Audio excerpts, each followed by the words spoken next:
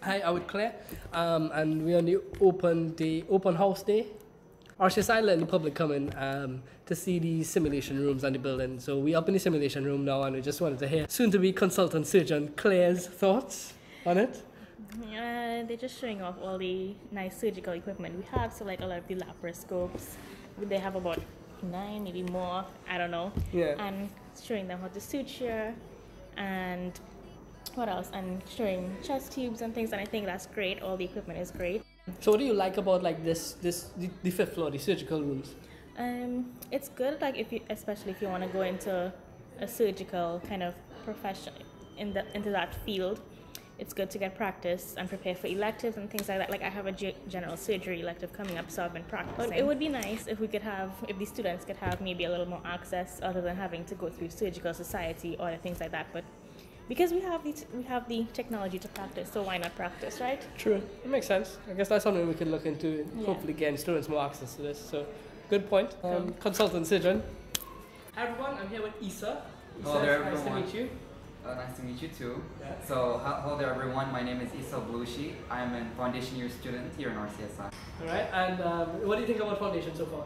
Well, foundation year, so it's an amazing year, I would say so far. So our week uh, has been very hectic with all these events that the SU had to provide. From the carnival to the white uh, to the white coat ceremony, it was just amazing. It's like an amazing transition from high school to where we are here now. I would yeah. say. Okay, I'm very glad to hear that you enjoyed it. Um, anybody you want to shout out from your class? Yeah. I want to shout out to all my boys and girls in foundation year, and also my friends who are always supporting me in senior cycle one and JC one. Shout out to you guys. Ah, beautiful. It's nice to meet you, man. Nice to Hi everyone, I'm here with Jung Kyu. Uh, Jookyung. Ju Kyung. Yeah, um, she's the co-president of EnviroSoc. And as you all might know, Green Week is coming up. Um, so we just want to hear a little bit about what's going on. Yeah. Uh, so Green Week is like an introductory week to ev- like a lot of different aspects of the environment and how we can preserve it. And we are doing like five days of events, like the whole week, uh, with each with different themes. So we're starting off with Monday with recycling games um, to try, kind of inform you about how to recycle within Ireland because Mhm. each country has different laws. On Tuesday, we're providing free food, free uh, uh, for our vegan food fair. So it's just going to be like a little taste of what vegan food is like um, until the foods last and they're all free. On Wednesday, we're doing wine, cheese, and leaves, and it's like a session where you can draw with free wine and free cheese again. Um, and we're going to provide like free pot, little pots of plants to take you uh, for you guys to take back home.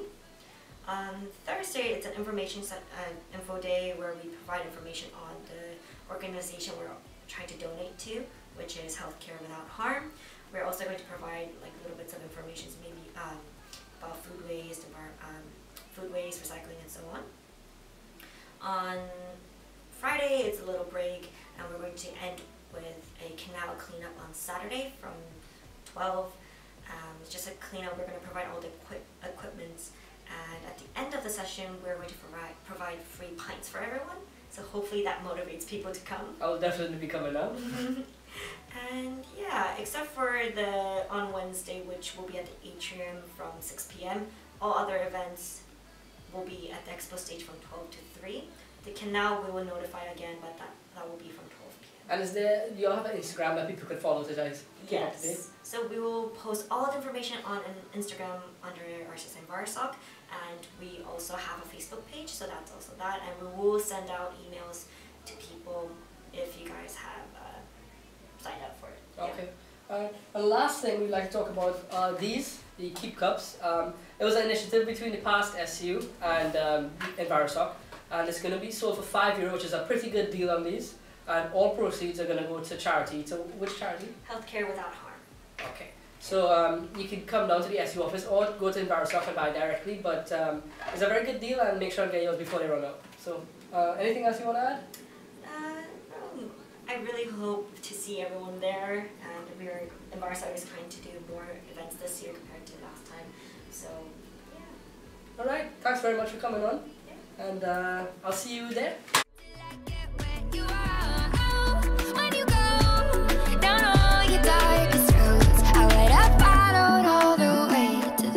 Darkest